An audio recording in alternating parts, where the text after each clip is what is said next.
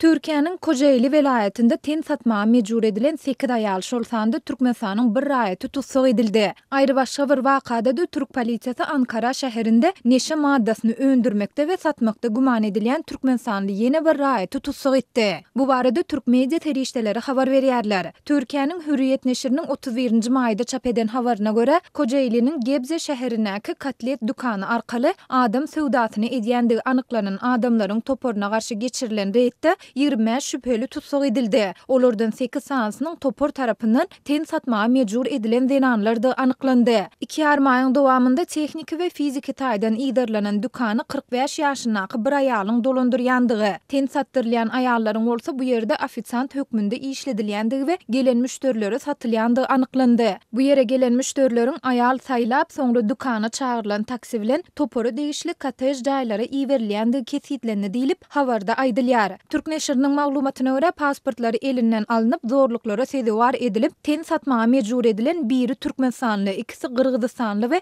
dördüsi özbegistanly zenanlar, öz ýurtlaryna iberilmek üçin Türkiýäniň degişli döwlet edarasyna geçirildi. On ýedi şübheli ten satmaga höweslendirmek, araçylyk we ýer bilen üpjün etmek, bikanun adam söwdasyny etmek we adamy azatlykdan mahrum etmek aýyplamalary esasynda sud öňüne çykaryldy diýlip, habarda aýdylýar. Türk neşiriniň maglumatyna görä, dürli jaýlara bir wagtda amala aşyrylan reýdlerde şübheliler bilen bir hatarda, mobil telefonlaryň we kompýuterleriň ençemesi hem-de uly möçberde nagt pul ele salyndy. Hürriýet neşiri bu habardan bir gün soň Ankaranyň dürli sebitlerinde neşe maddasyny öndürmekde we satmakda güman edilýän bäş adamyň, şol sanda bir türkmenistanlynyň tussag edilendigini habar berdi. Birinji iýunda çap edilen habarda polisiýanyň neşe maddasyny satýandygy barada maglumat gelip gowşan türkmenistanly raýaty yzarlandygy we gürji raýaty bilen söwdany amala aşyrýan mahalynda tussag edilendigi aýdylýar. Polisiýanyň Etimesgut etrapçasyndaky bir adrese amala aşyran reýdinde türkmenistanly başga-da iki adam tussag edildi diýlip, Habarda bellenilýär, şübhelileriň öýlerinde we iş ýerlerinde amala aşyrylan gözleg işlerinde bir kilogram geroin, bäş ýüz sany neşe tabletkasy, bir sany sapança we käbir beýleki zatlar ele salyndy. Şeýle-de tussag edilen şübheliler polisiýa merkezinden soňra sud öňüne çykaryldy. Azatlyk Radiosynyň türkmenistanly şübhelileriň soňky ykbaly barada Ankaranyň polisiýasyndan maglumat almak synanyşyklary häzirlikçe netije bermedi. Türkmenistandaky